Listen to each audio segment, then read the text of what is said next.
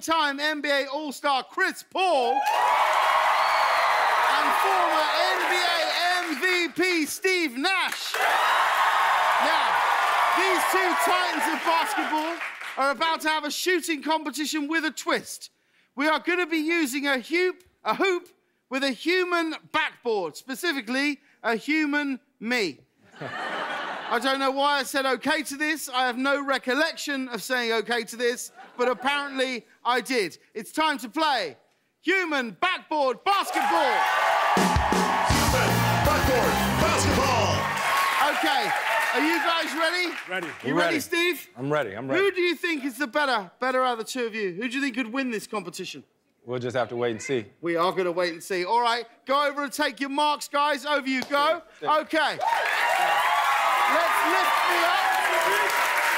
Oh, ow. oh my God. Right. Oh. Oh, that's really got. That is right in there. That is right in there. All right. If you guys want to take a couple of practice shots before we begin, I want to tell you one thing. Oh, that really hurts. I want to tell you one thing. I know. Oh. okay. All right, I think we're ready. I think we're ready to play. Now, I want to make one thing clear. Yeah. I know, because I was trussed up in this, a member of our crew has placed a target on an intimate area. That is not a target for you. Really? Okay? All right, so are you both ready? Steve, you ready? Okay. I'm ready. Let's put some time on the clock. Whoever can score the most points before the time runs out will be declared the winner of this first and let's be honest, only human backboard shootout. Let's start the clock. Let's go.